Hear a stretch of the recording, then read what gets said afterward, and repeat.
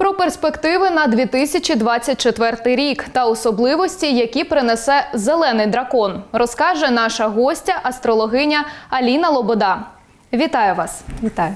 Розкажіть, будь ласка, чи є поради для тих, хто планує прийняти важливі рішення у рік дракона, наприклад, змінити професію, придбати житло?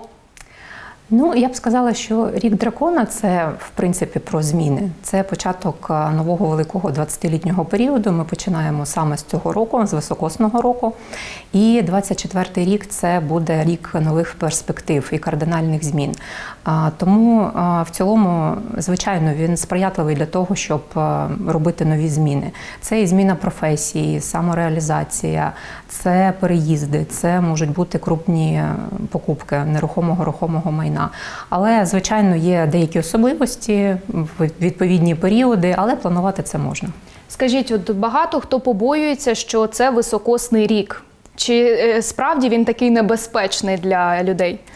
Я б сказала, він не небезпечний, він є для нас е, трансформаційним, тому що ці трансформаційні періоди вони починаються в особливий час. Е, є деякі З'єднання планет вони для нас почалися ще з 2020 року. Це теж був високосний рік, і з того часу почався наш трансформаційний цикл.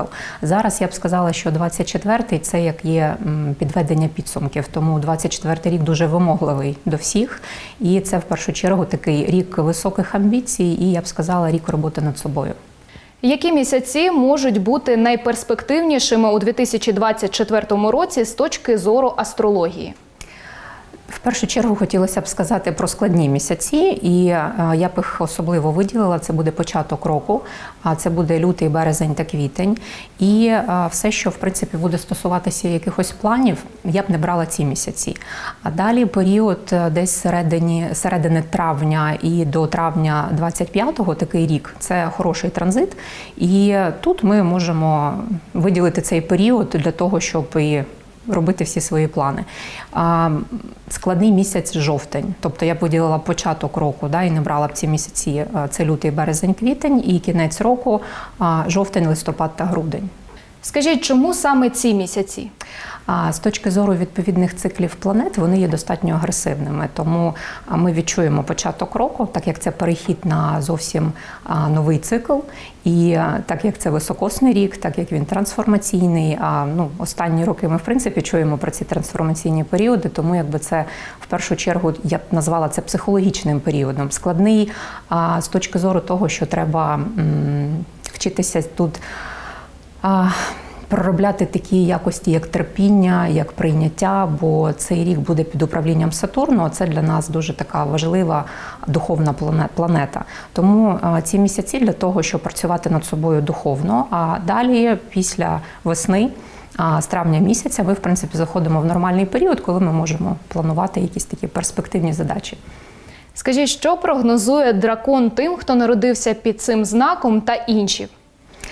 В першу чергу дракон це про таку роботу над собою, та це дуже вимогливий знак. Якщо ми подивимося на зодіакальний круг китайського гороскопу, то ми зрозуміємо, що всі 11 знаків зодіаку вони є в природі, вони реальні. Дракон це знак містичний, він а, міфологічний. Тому і це робить цей рік особливим, особливим з усіх точок зору, тому що це і підведення підсум, підсумків, це наші трансформації, це робота над собою. І, а, звичайно, а, це для деяких знаків зодіаку буде особливий період, хоч це рік дерев'яного дракону, але сам дракон він показує енергію землі. Тому завжди в такі роки активізуються хронічні питання по здоров'ю. Тому тут я б для всіх знаків зодіаку радила зайнятися профілактикою свого здоров'я. За яким правилом взагалі треба жити цього року, щоб дракон е, був на вашому боці, на нашому боці? Найперше, мабуть, щоб я порекомендувала це бути собою, тому що це унікальний період. Взагалі ми заходимо в такий унікальний особливий 20-літній період.